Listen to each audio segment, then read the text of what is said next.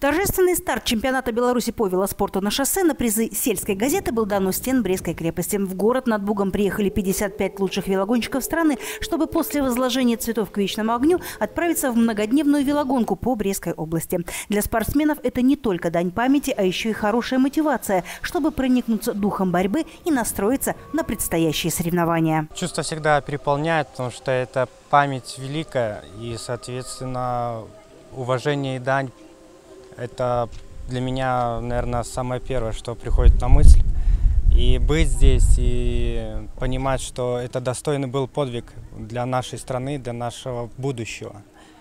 И, конечно, мотивация есть всегда, и мы стараемся показывать достойный результат в нашем виде спорта. Ну, то есть быть в борьбе, быть первыми. Чтобы стать первым, спортсменам придется потрудиться. Днем ранее гонщики уже опробовали региональную трассу в командной гонке на 50 километров. Впереди еще три этапа длиной 124, 140 и 160 километров. Этот турнир – отбор перед мировым чемпионатом. Многодневная гонка – это хороший результат определения состояния спортсменов и вообще сегодня состояния э, всех э, спортсменов страны нашей.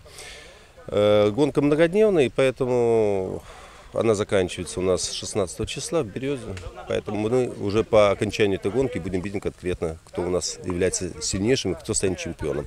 Есть интрига, гонка будет очень интересная, равные составы, поэтому очень много молодежи перспективно, поэтому мы будем это все видеть. В гонке заявлены лидеры белорусского велоспорта Сергей Попок и Константин Клименков из Минска, Витебчанин, Бронислав Самойлов, Гамельчанин, Антон Музычкин. Команду Брестской области за собой поведет молодой, но уже опытный Влад Влад Тимошек. Очень было сложно, жарко.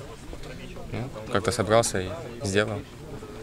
Все, все, что было, отдал до последнего. Ну, участие, подготовка как бы идет, и только победа. Все.